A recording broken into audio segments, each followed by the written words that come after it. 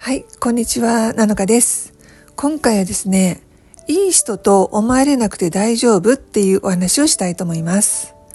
まあよくですね、こう子供の頃にね、親から愛されなかったとか、まあ友達関係で嫌な目にあってね、なんか悲しい思いをしたとか、何かこう自分がこう辛い思いをしたから、愛されなかったからとかね、そうやって悲しい思いをしたから、何かこう自分っていうものをよく見せないといけないんじゃないか。親に愛されるようにいい子にならなきゃいけないんじゃないか。友達に好かれるような、あの人いい人だよねって思われて友達になってもらわなきゃいけないとかですね。なんかそうやって自分が周りに、親に、人間関係に、いい存在だ、いい人間だと思われなきゃいけない。なんか知らず知らずのうちにそうやってですね、こう思考がね、あの、そういうふうに思い込んできて、まあそういうふうにいけなきゃいけないんだって、そしてその先には、じゃあその親は自分のことを今どう思ってるかな、その人間関係のその相手は自分のことをどう思ってるんだろう。そうやってですね、他人の思惑を常に気にする。本当の自分でいられなくて、なんか飾ってしまうとかですね。なんかこう、よく見せるとか。なんかいい子でいなきゃいけない、いい人でいなきゃいけないんじゃないか。まあそれにですね、こう疲れてる。疲れてるんだけど、ついついやっちゃう。そういう習慣で生きちゃってるっていう方がいらっしゃいますよね。まあそういう方に向けてお話をしたいんですけども、あの、そもそもですね、ちょっとあの、冷静に物事を見ていただきたいんですけども、そのいい人って言いますよね。そのいい人ってどういう人ですかってちょっと考えてみてください。それですね、深掘りしたことありますかってことなんです。自分が誰かにいい人と思われたい、親にいい子だと思われたいって思ってて、そのいいっていうそのいい状況ってどういう状況なんだろうって。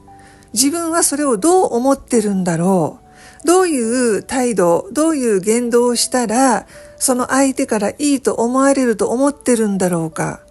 どうですか？そこを深掘りしたことありますか？ただですね、あの、単純に自分はいい人間だと思われたい、よく思われたいって思ってるだけだったのか、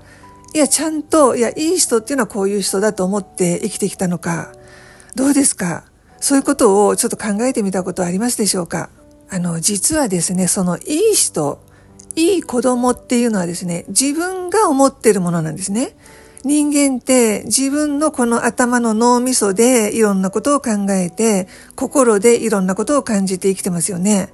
だからそれって自分のその思考なんですね。自分の価値観なんです。自分がこの A という物事があった時に、この A という物事を自分はこういうふうに捉える。こういう価値観で、そういう視点で見る。そういう受け止め方をするっていうのはこの自分なんですよね。自分だったらこうするっていうことで生きてるんですよ。それ当たり前なんですけど。でもですね、それって他人と同じじゃないんですよね。この A という物事を見たときに目の前のこの他人はですね、自分と同じ価値観では見てないんですよ。例えばですね、映画をね、例に挙げると、同じ映画を見てもですね、自分はですね、いや、この映画めっちゃ面白かったな、もう見てよかったな、ってあそこのあのセリフね、もうほんとグッときたな、とかね、思ってるとしますよね。でも一緒に行った人が、いや、全く同じような感想を持ってるかって言ったらそうじゃないんですよね。いや、あそこのセリフよかったよねって言っても、ああ、うん、まあよかったよね。でも私はね、あそこのあれがよかったなってありますよね。そしてこの映画いまいちだったっていう人もいますよね。自分がいいと思った映画をですね。だから何か一つとっても全く同じ人っていないんですよ。もちろん似てる人はいますよ。趣味思考が似てる人はもちろんいるんですよ。でも似てるっていうだけでまあ、全て同じじゃないですよね。例えば、まあね、誰かと知り合った時に、いろいろね、最初こう、話しますよね。私こういうのが好きでさ、こういうことをね、したことあるとかね、趣味思考のことを話したりとかしてて、あ、それ好き好きってね、最初すごく盛り上がって、あ、なんかめちゃくちゃ似てるよね、私たちって言ってね、わ、もうこの人とはね、すごく愛そうと思ってても、まあずっとこう喋ってたり、一緒に行動するときに、あれ？ってね、いや、そこ私と違うなってね、あ、この人はこういうふうにね、感じるんだなとか、あ、こういうふうにね、あの、考えて行動するんだなって、そういうとこって見えてきますよね。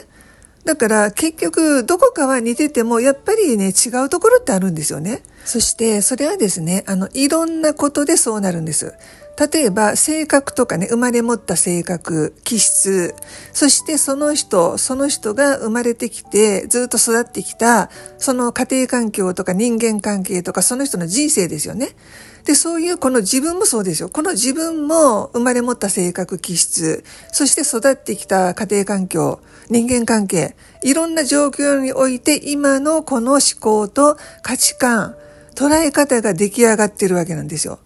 だから、あの、人それぞれ人生が違うから、物事のこう見てきたね、この状況が違うわけなんですよね。そして性格もあるから、あの、自由がね、好きな人もいれば、なんかこう他人にこう頼っちゃう人もいればって、いろいろ性格もありますよね。他力本願だったり、自分軸がある人だったり、まあ一人のね、行動が好きだったり、あの、大勢でね、ワイワイするのが好きな人とかって、もうとにかくですね、価値観とか捉え方とか思考とか好みが違うんですよ。あの、こんなことがありますよね。この自分がですよ、この今までの人生で、本当に寂しかったとかね、辛かった、一人ぼっちを感じてたから、誰かにこう構ってほしかった。いろいろこうそばにいて、ああだこうだこう世話を焼いてほしかった。自分を見てほしかった。常にそばにいてほしかったっていうそのすごく寂しい人生をね、生きてきて、誰かって誰かを求めてた、この生き方を自分がしてきたとしたら、それが自分の価値観なんですよ。誰かがいてくれるのが幸せっていう価値観になっちゃってるんですね。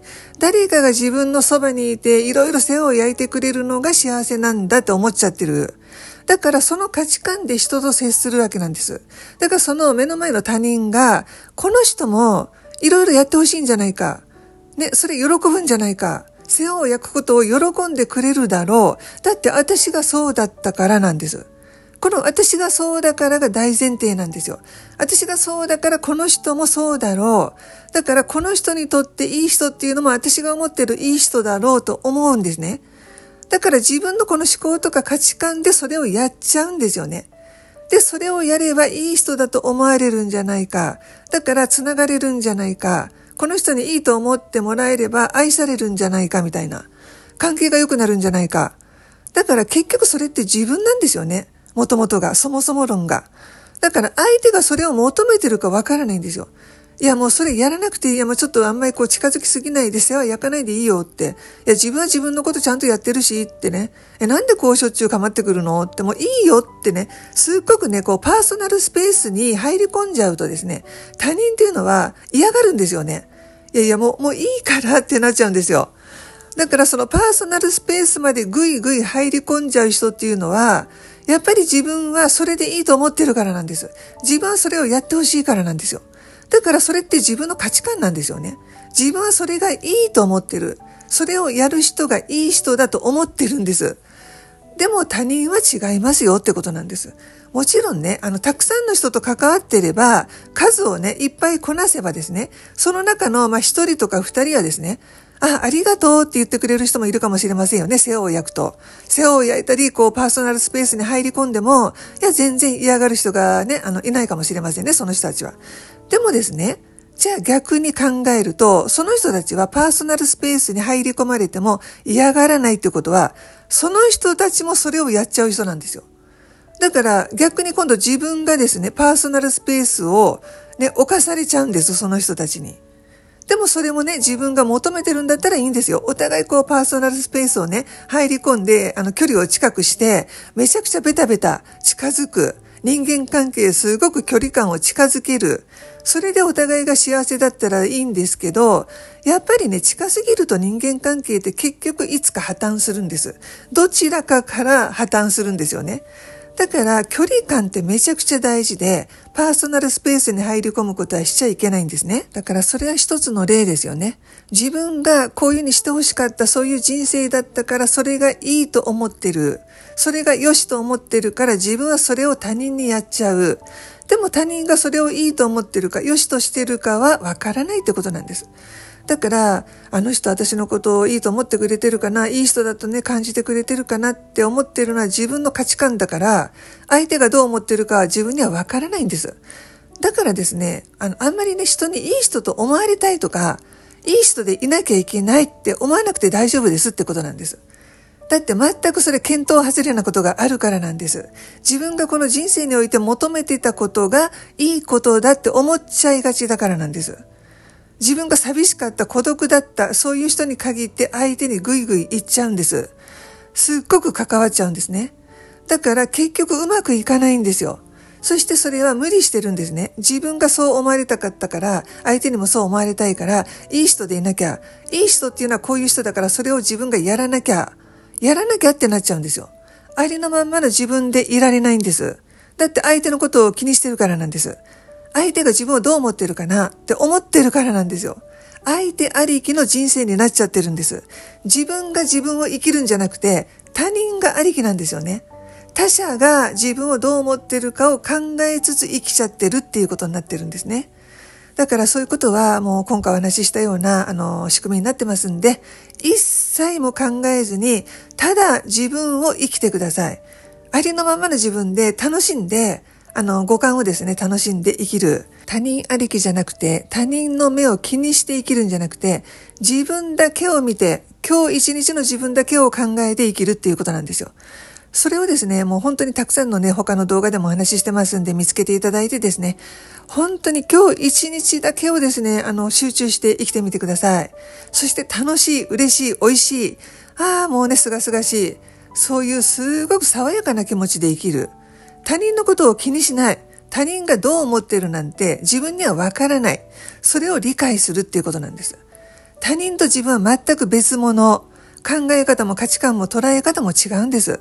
そこをですね、本当に理解すれば、もう他人のことが気にならなくなるんですよ。そして自分がですね、自分だけを見て他人を気にしなくてね、あの今日一日だけを楽しんでると自分が魅力が出てくるから、いろいろほら知識とか経験が増えてきて、で、ニコニコしてるから魅力が出るから、で、波動が良くなるから、それに引き付けられて、あの人がね、あの縁がね、またこう繋がってくるんですよ。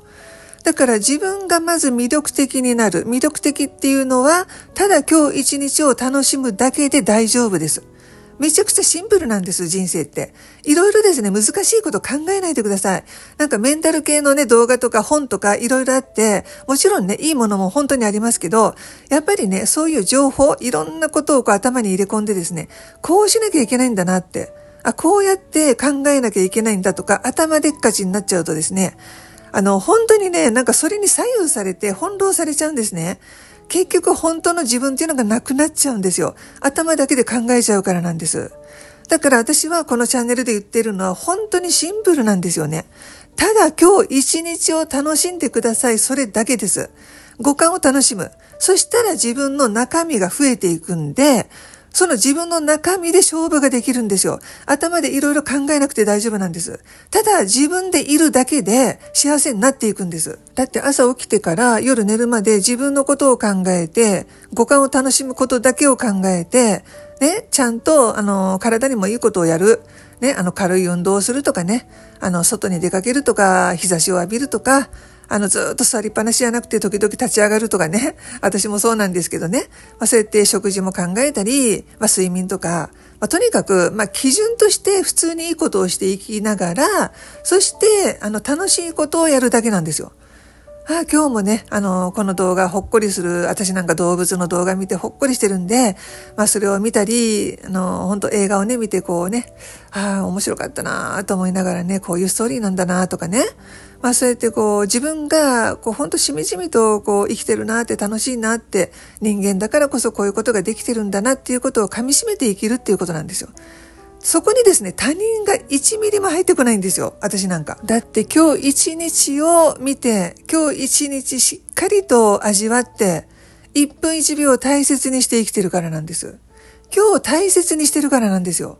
今日ないがしろにしてる人たちが他人を見てるんです。だって今日ね、大切に思ってないからなんですよ。どうせ私はまだ生きるんでしょうと思ってるからなんです。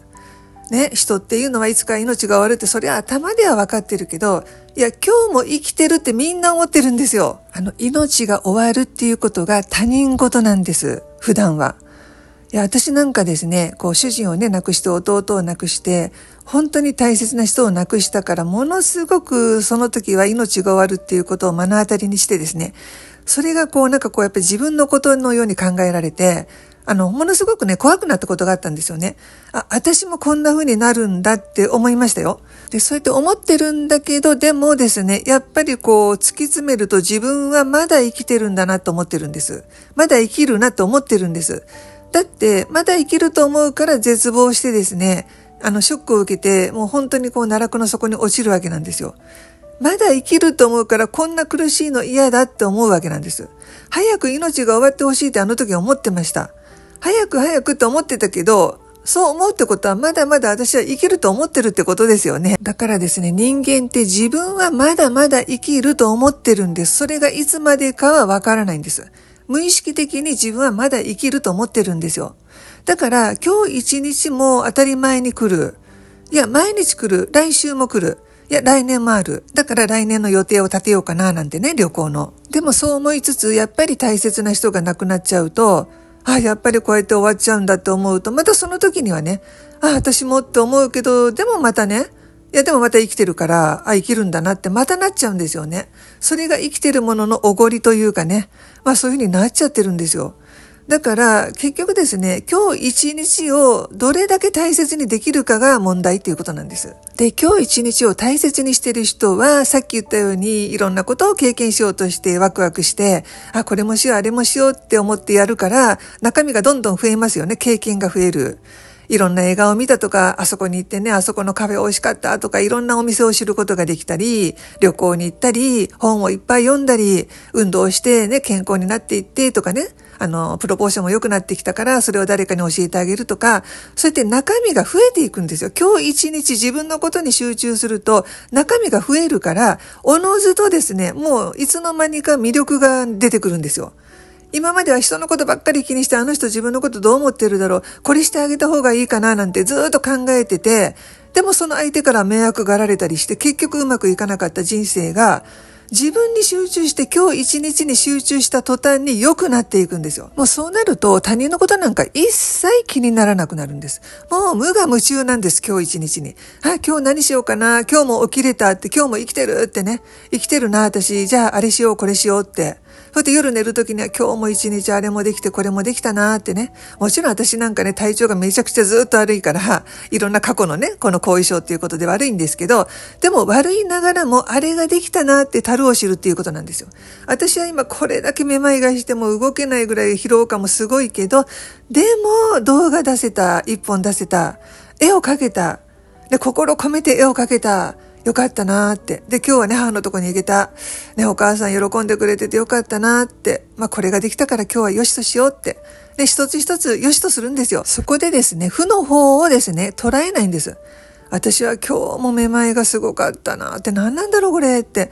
本当もう疲労感もすごいな、やっぱり過去のあれがね、とかね、もうそういうですね、もう負のことは考えたって仕方ないんですね。だからもう楽しいこと、よかったな、あ、これが今日できた。こういう体調だけど、でもこれできたじゃんって。一つでもできたからよかった。今日一日の成果だなって。で、その時は自分もそれに集中しててね。まあ、めまいはしてたけど、でも絵は描けたとかね。心込めて描いた絵がこう額に入れる時にもすごく嬉しかったなーなんてね。なんかあの達成感ってね、これをね、買ってくれる人がね、もう喜んでくれたら嬉しいななんて思いながら描いてるわけなんですよ。どれだけ体が具合が悪くても。だからですね、自分のね、思考次第なんですよ、人生って。今日一日をどういう思考をして何を行動するかなんです。そしてそれで自分が満足して寝る。もう、樽を知って寝る。感謝する。あ、これができた。ありがたかったな。ね、今日ね、あの、この家に住めてて、ね、ご飯も自分で作れて、そうやって食べれた。ね、お風呂にも入ってさっぱりできた。で、布団も干せて、こんなね、こう気持ちのいい布団に夜寝れてね、ありがたいなって。もうそれでですね、一つ一つありがたい、ありがたい、嬉しかった、感謝だな、これができた。樽を知って生きれば、今日一日に専念できるんですよ。そこにですね、他人っていうのが一切関係ないっていうのが分かってくるんです。だから人にいい人と思われなきゃいけないとか、私これした方があの人いいと思ってくれるかななんて思わないんです。ただ自分を生きれば、おのずと他人がですね、他者が、あ、この人いいなって自然に思ってくれるようになるんですよ。魅力が増すからなんです。自分の中身が増えて、樽を知って、感謝をして生きる人は魅力が増してくるんです。これ私だから言ってるわけじゃないんですよ。一般的にそうなるんです。だって皆さんそう思いませんか？そういう人を見た時に魅力を感じませんかってことなんです。常に他人を気にして、他人のために自分の行動をいろいろあれこれとやってる人と、ただ自分を精一杯生きてる人がいた時にどっちに魅力を感じますかってことなんですよ。それがシンプルですよってことなんです。人生ってめちゃくちゃシンプルなんです。幸せになるのも、どん底になるのもめちゃくちゃシンプルなんです。それをですね、私の今回のね、動画だけじゃなくて、このチャンネルにもたくさん動画ありますんで、一つ一つでお話ししてますから、ぜひですね、もう根こそぎ見てみてください。そしたらもうほんと自然にですね、変われてきます。私もそうなれたんで、こうやってお話できてますんでね。まあそういうお話でした。まあそういうことで、このチャンネルの動画でですね、あの、お話ししている、お伝えしたいこの言葉をっていうことで、絵の横に書いてですね、あの、インテリアとして、あの、使っていただける額をですね、制作してますので、まあ、いろんな言葉をですね、あの、入れてますので、ぜひですね、なんかこう、ビビッとくる言葉をですね、あの、お部屋に飾っていただいて、まあ、ついつい忘れがちだったなってね、思って、あ、そうそうってこう、思い出していただけるようにお役に立ててみてください。で、あの、オーダーもですね、あの、受け付けてますけども、まあ、現在のオーダーの受付としては、あの、既存のね、あの、みんなの方に出品してている作品の中から、あの、あんまり書き込み量が多くないもののみ受け付けています。そして言葉はですね、皆さんがこういう言葉を横に書いてくださいって言っていただければ、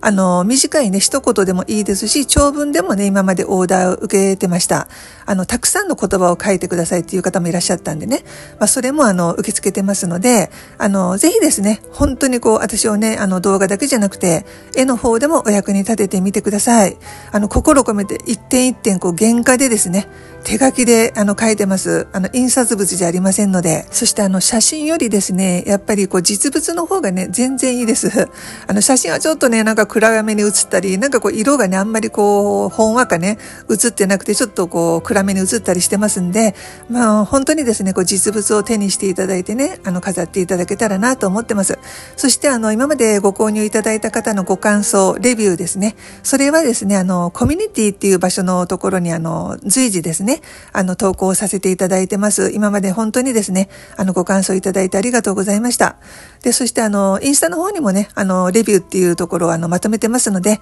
まあ、どちらかで見てみてください。